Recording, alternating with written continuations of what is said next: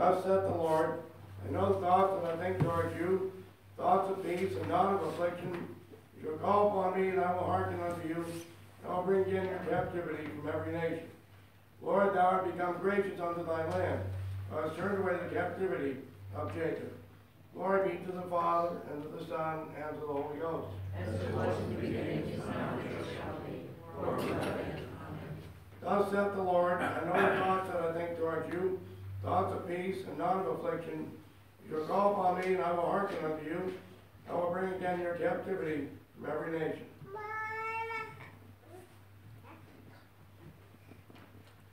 The Lord be with you. Let us pray.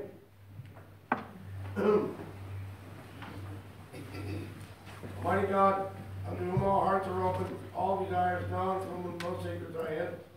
The thoughts of our hearts by the inspiration of thy Holy Spirit, that we may perfectly love thee and worthily magnify thy holy name, through Christ our Lord. Amen. Hear what our Lord Jesus Christ said.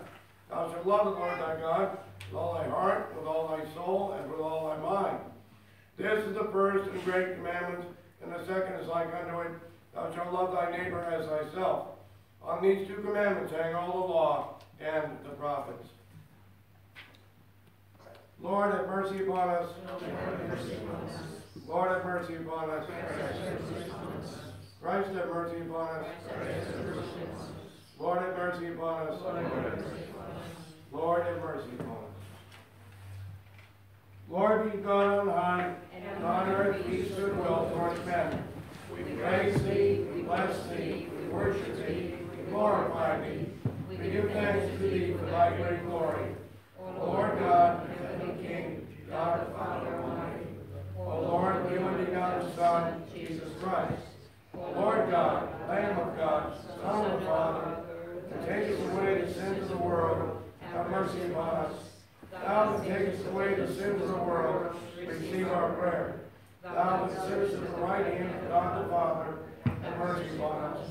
For thou only art holy, thou only art the Lord, thou only, O Christ, with the Holy Ghost, art most high in the glory of God the Father. Amen.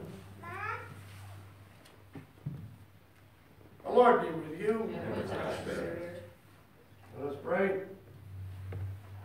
O God, whose blessed Son was manifested that he might destroy the works of the devil and make us the sons of God and heirs of eternal life, grant us, we beseech thee, that, having this hope, we may purify ourselves even as he is pure, that when he shall appear again with power and great glory, we may be made like unto him in his eternal glorious kingdom.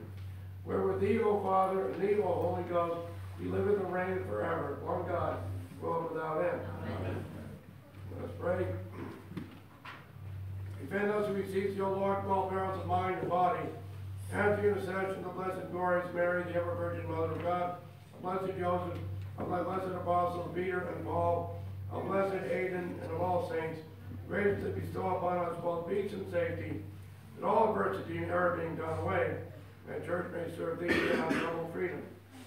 Almighty God, remember before thee thy faithful servant Jane, we pray thee, having opened to her the gates of larger life, thou wilt receive her more and more to thy joyful service, that she may win with thee and thy servants everywhere the eternal victory, through Jesus Christ, thy Son, our Lord, who liveth and reigns with thee in the unity of the Holy Spirit, ever, one God, world without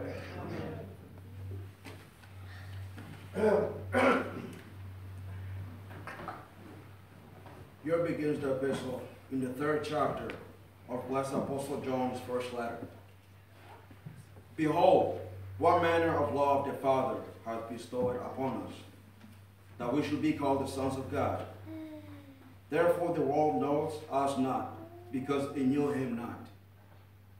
Beloved, now are we the sons of God, and it doth not yet appear what we shall, we shall be.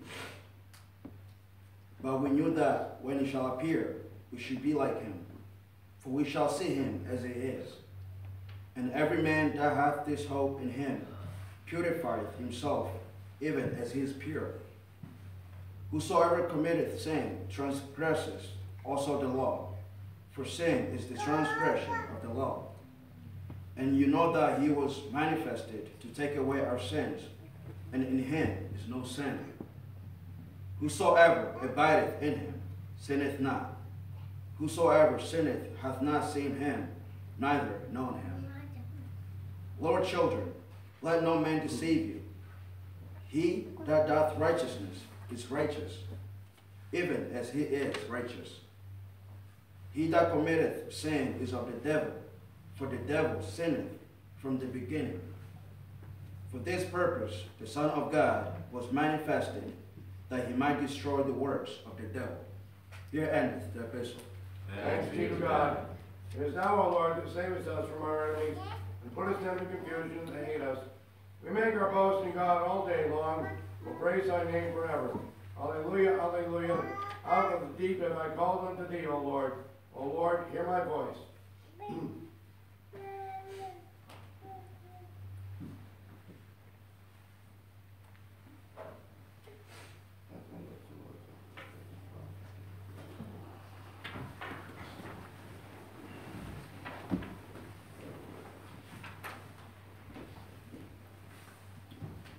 The Lord be with you.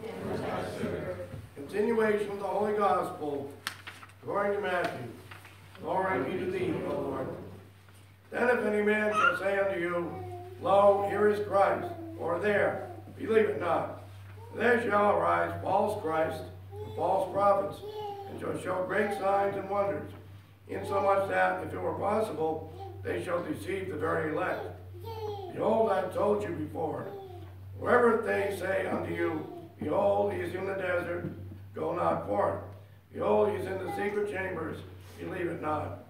For as the lightning cometh out of the east, and shineth even unto the west, so shall also the coming of the Son of Man be.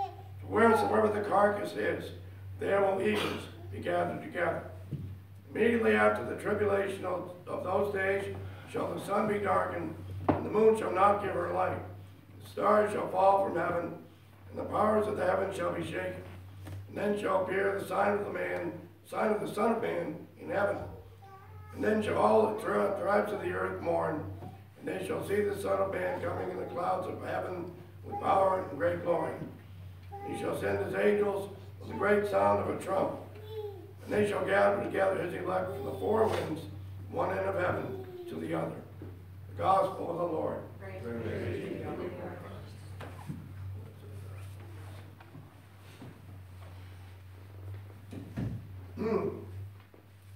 I believe in one God, Father Almighty, maker of heaven and earth, of all things visible and invisible, and in one Lord, Jesus Christ, the only begotten Son of God, begotten of his Father before all worlds, God of God, light of light, very God of very God, begotten, not made, being of one substance with the Father, by whom all things were made, who for us men and for our salvation came down from heaven, and was incarnate by the Holy Ghost of the Virgin Mary, and was made man, and was crucified also for us under Pontius Pilate. He suffered and was buried. The third day he rose again according to the Scriptures, and ascended into heaven, and sitteth on the right hand of the Father. And he shall come again with glory to judge both the quick and the dead, whose kingdom shall have no end. And I believe in the Holy Ghost, the Lord and giver of life, who proceeded from the Father and the Son, who with the Father and the Son together is worshipped and glorified, who spake by the prophets.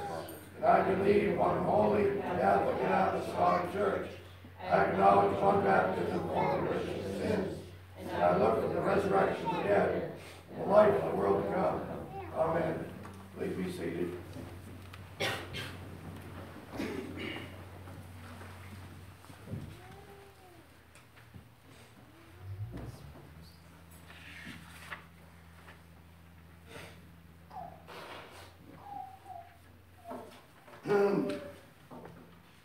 The healing prayers today, right after Mass. We've got quite a, quite- quite a group of young people here today, so I'd like to see. Keep them coming. Wednesday Mass at noon will be the presentation of the Blessed Mer- Virgin Mary. A Bible study is available today. And I, some of you already knew this, of course, but what I put at the bottom of the bulletin about Trinity Five and Epiphany Six and why we are the for Epiphany Six. Well, first answer is there's no uh, Trinity twenty-five in the book. So sort of a, I don't want to say it's a trick, but um, anyway, that's the way they set it up. So, not a big deal, but, you know, inquiring minds want to know. Whereas whoever the carcass is, there will the eagles be gathered together. Come, Holy Ghost, and kindle in the hearts of thy faithful people the fire of thy love. In the name of the Father, and of the Son, and of the Holy Ghost. Amen. The eagles, an eagle with its piercing eyes, stands for courage and strength. In ancient Rome, it was the very symbol of power and the messenger for the highest gods. One of our many beautiful hymns, 549, has a stirring line speaking of the young martyr Stephen, the martyr first, whose eagle eye could pierce beyond the grave. The eagle was chosen in 1782 as the emblem of our nation because of its long life, great strength, and majestic looks. Great seal of our nation depicts a bald eagle, eagle holding 13 olive branches in one talon. Eagles there, talons, not paws. And 13 arrows in the other. Now the olive branch stands for the power to make peace, while the arrows stand for the power to make war. Now we, while we tend to emphasize the power and fierceness of the eagle, it's also known for the tenderness it shows toward its young. The lifespan of an eagle is 20 to 30 years, while that of a housefly is supposedly only 28 days. Although I feel I've had the same fly following me around for three months now. And I've even given him a name. And that, believe me, that is not a name which is above every other name. Isaiah speaks of eagles as a symbol of God's faithful people. And here's one of the most stirring verses in Scripture from Isaiah. Those who wait on the Lord shall renew their strength. They shall mount up with wings like eagles. They shall run and not be weary. They shall walk and not faint.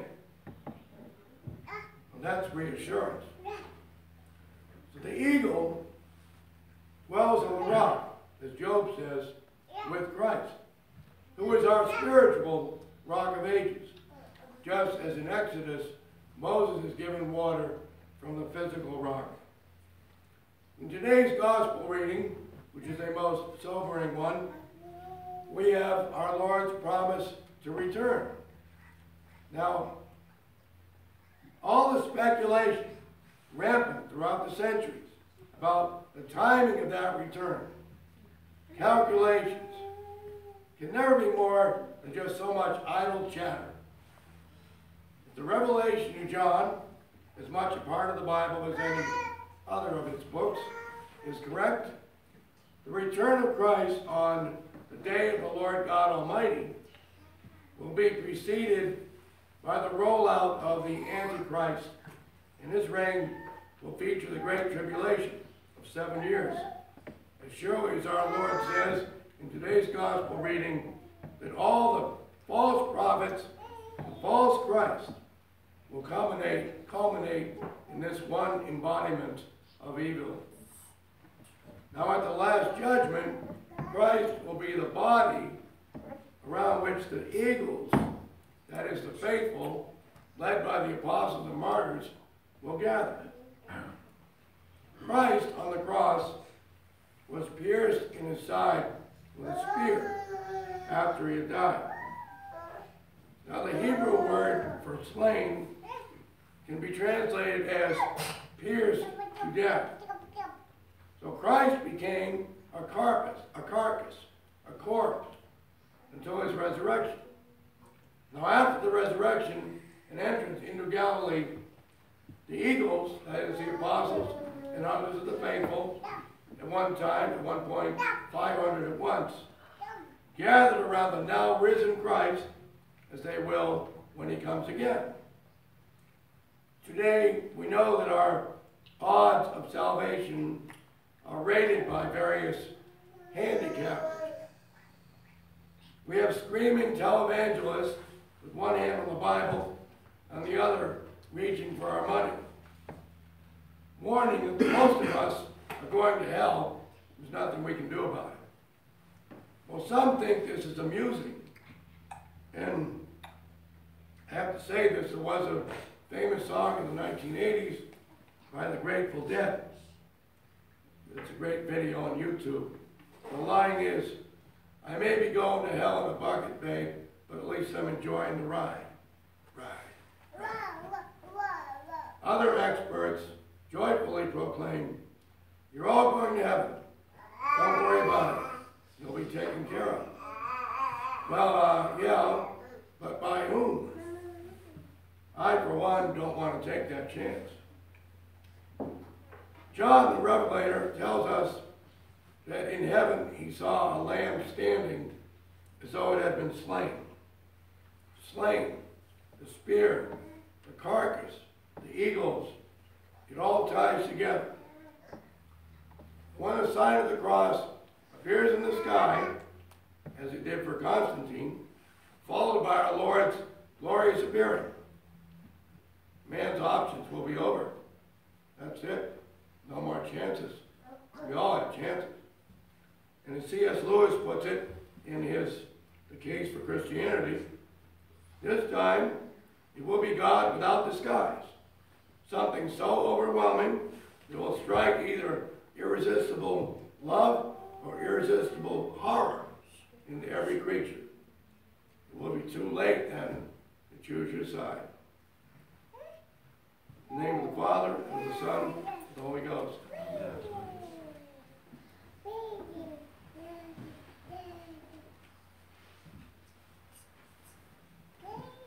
The Lord be with you. Let us pray. Out of the deep have I called unto thee, O Lord. Lord, hear my voice.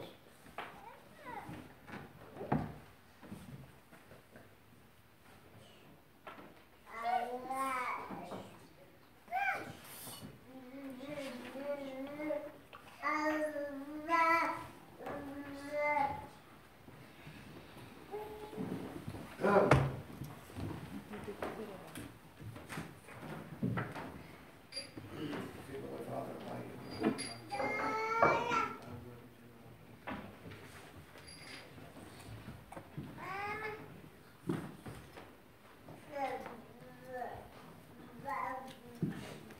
Now let the foundation be established.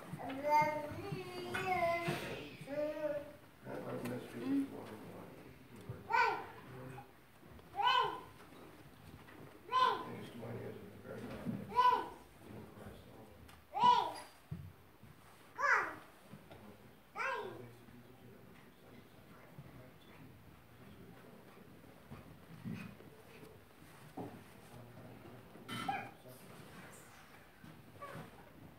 One must sanctify our Almighty Christ, the body is the sacrifice, ready forever. All things come of thee, O Lord, and of thine own have we given thee.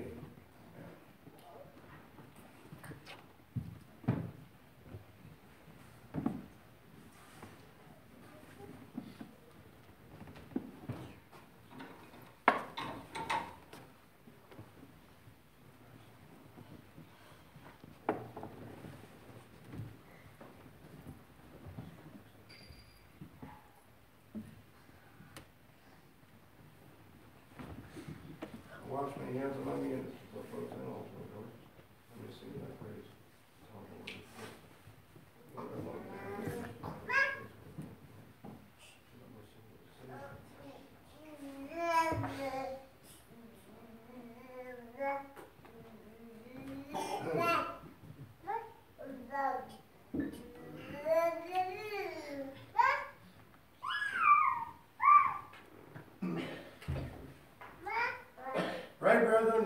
my sacrifice and yours may be acceptable unto God the Father Almighty.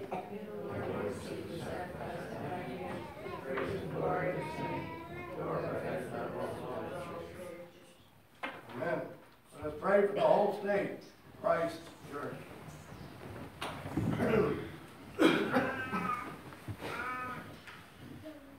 Almighty and ever living God, by thy holy apostles, John, to make prayers, supplications, and to give thanks for all men. We beseech thee most mercifully to accept our alms and oblations, and to receive these our prayers, which we offer unto thy divine majesty. Beseeching thee to inspire continually the universal church with the spirit of truth, unity, and concord. And grant that all those who do confess thy holy name may agree in the truth of thy holy word, and live in unity and godly love. We beseech thee also so to direct and dispose the hearts of all Christian rulers, they may truly and impartially minister justice to the punishment of wickedness and vice, and to the maintenance of thy true religion and virtue. Grace, O Holy Father, to all bishops, priests, and deacons, that they may both by their life and doctrine set forth thy true and lively word, and rightly and duly administer thy holy sacraments. And to all thy people give thy heavenly grace, and especially to this congregation of pray, that with meek heart and due reverence they may hear and receive thy holy word, truly serving thee in holiness and righteousness all the days of their life. and most humbly beseech thee of thy goodness, O Lord, to comfort and succor all those who in this transitory life are in trouble, sorrow, need, sickness, or any other adversity.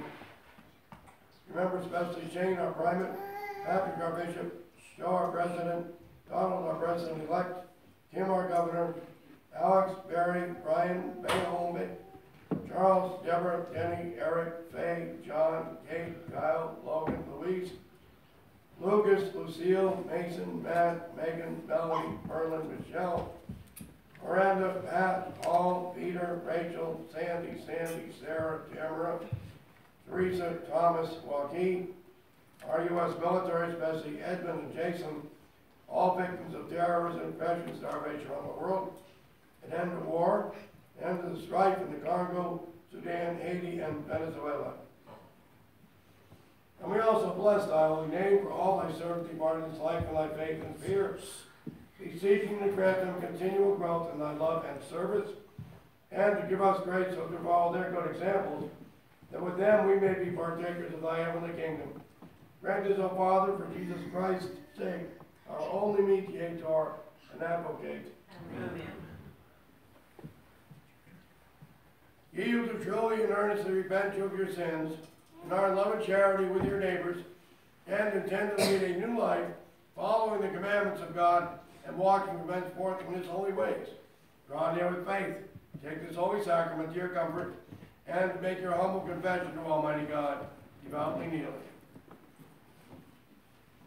Almighty God, Father of our Lord Jesus Christ, Maker of all things, Judge of all men, we acknowledge and we dwell in our manifold sins and wickedness, which we from time to time grievously have committed by thought, word, and deed against thy divine majesty, provoking most justly thy wrath, indignation against us, we the earnestly repent, and are heartily sorry for these our misdoings. Remember, till that is grieve us us, the burden of them is intolerable. Have mercy upon us, have mercy upon us, most merciful Father, for thy Son, our Lord Jesus Christ's sake. Forgive us all in trespasses, and grant for me ever hereafter to serve and please thee in the newness of life, the honor and glory of thy name, through Jesus Christ our Lord. God, our Heavenly Father, who is great mercy and promise forgiveness of sins, to all those who with hearty repentance and true faith turn unto him. Have mercy upon you, pardon and deliver you from all your sins, confirm and strengthen you in all goodness, and bring you to everlasting life through Jesus Christ our Lord. Give what comfortable words our Savior Christ saith, and all truly turn to him. Come unto me, all ye that travail and are heavy laden, and I will refresh you. So God loved the world that he gave his only begotten Son, to the end that all that believe in him shall not perish, but have everlasting life. Here also what St. Paul said, This is a true saying, worthy of all men to be received, that Christ Jesus came into the world to save sinners. Hear also what St. John said, If any man sin, we have an advocate with the Father, Jesus Christ the righteous, and he is the propitiation for our sins. The Lord be with you. Lift up your hearts. Let us give thanks unto our Lord God. It is very meet, right, and our bounden duty that we should at all times and in all places give thanks unto thee, O Lord, Holy Father, Almighty, everlasting God, for the precious death and merits of thy Son, Jesus Christ our Lord, and for the sending to us of the Holy Ghost, the Comforter, who are one with thee in thy eternal Godhead.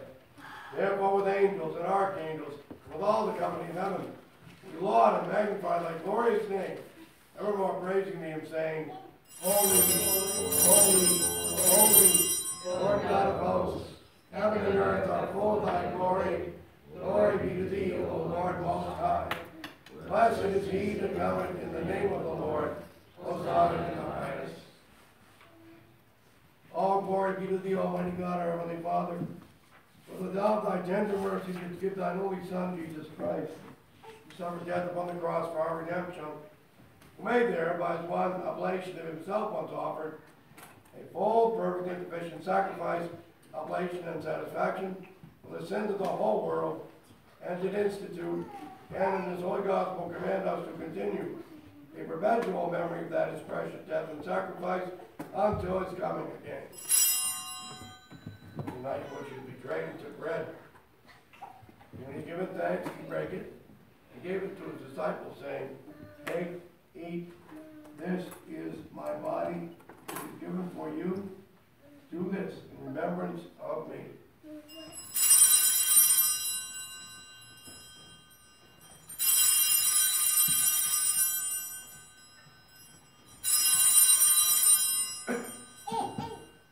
Likewise, after supper, he took the cup. And when he had given thanks, he gave it to them, saying, Drink ye all of this, for this is my blood of the New Testament, which is shed for you and for many for the remission of sins. As ye shall drink it, remembrance of me.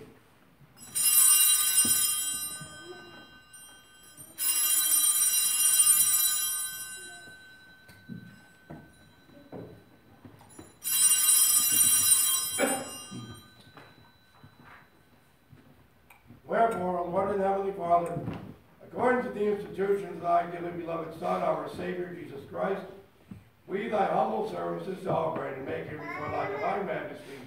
With these thy holy gifts be thou offer thee the memorial thy Son hath commanded us to make, having in remembrance his blessed passion and precious death, his mighty resurrection and glorious ascension, rendering us the most hearty thanks for the innumerable benefits procured unto us by the same. We most humbly beseech thee, O Heavenly Father, to hear us, and of thy almighty goodness thou vouchsafe to bless and sanctify with thy word and Holy Spirit these thy gifts and creatures of bread and wine, that we, receiving them according to thy Son, our Savior Jesus Christ, holy institution, in remembrance of his death and passion, may be partakers of his most blessed body and blood. And we earnestly desire thy fatherly goodness, mercifully to accept this our sacrifice of praise and thanksgiving, most humbly beseeching thee to grant, by the merits and death of thy Son, Jesus Christ, and through in his blood, we and all thy whole church may obtain remission of our sins and all other benefits of his passion. And here we offer present unto thee, O Lord, ourselves, our souls and bodies, be a reasonable, holy, and living sacrifice unto thee, humbly beseeching thee, that we and all others who shall be partakers of this holy communion may worthily receive the most precious body and blood of thy Son, Jesus Christ, filled with thy grace and heavenly benediction, and made one body with him. He made one us, and we in him. And although we are unworthy through our manifold sins to offer unto thee any sacrifice, yet we beseech thee to accept this our bounden duty and service, not weighing our merits, but pardoning our offenses. Through Jesus Christ our Lord, by whom, with whom, in the unity of the Holy Ghost, all honor and glory be unto thee, O Father Almighty, world without end. Let us pray.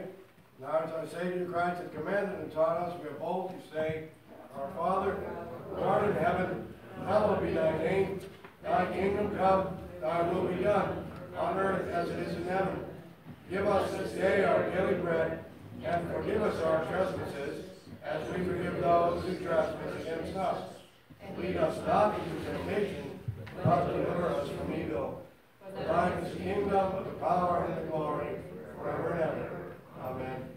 Let us be seated, O Lord, upon the evils past, present, and come. At the intercession of blessed glory, and ever God. That thy blessed apostle Peter, all men who came from our sins, they will grant peace in our time. My helmet on earth, we are the free from sin, safe from all misfortunes. Through the same Jesus Christ, thy Son, our Lord, who with thee in the unity the Holy Ghost liveth and reigneth God, world without end.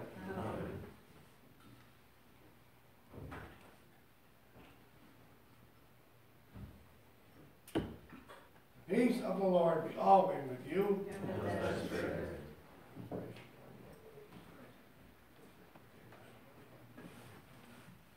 O Lamb of God, takes away the sins of the world, have mercy upon us. O Lamb of God, that takest away the sins of the world, have mercy upon us. O Lamb of God, that takest away the sins of the world, grant us thy peace. We do not presume to come to this thy table, merciful Lord, trusting in our own righteousness, but in thy manifold and great mercies.